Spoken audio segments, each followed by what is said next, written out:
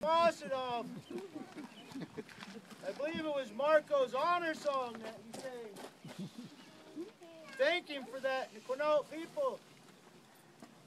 Uh, my relatives, what you see here is our camping area that we're providing for you. And there's a trailhead over here. It's about an eighth of a mile to half a mile. half a mile. Again, we'll have shuttles. We'll have shuttles coming from here to there. We'll have ample security. I know in the past we've had problems uprise from walking trails at night, but we're going to do our best as hosts to, for your protection. You're coming to our lands, and we want to make sure you're protected in the best way you can. That, again, we watch out for each other just like on the water. On the land, if we see our children running off too far, that we bring them back. Because as a community, we are raising all our children together. As we're raising our canoe families.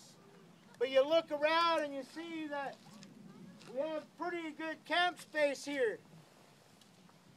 But again, we're going to take you on a tour of our parking areas. And your essential vehicles will be able to be in here. And again, our shuttle service will be in here.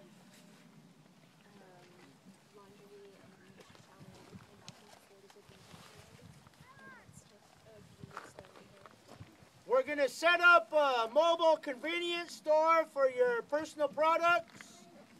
Um, the shower stalls, the laundry, porta potties over there. We've set people out here to check the wind, huh?